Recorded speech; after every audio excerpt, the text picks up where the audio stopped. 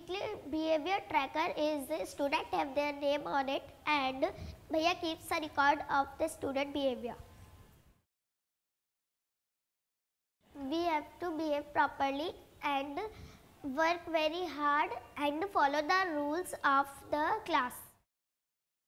Yes, because we have lot of fun to get stars and we get rewards.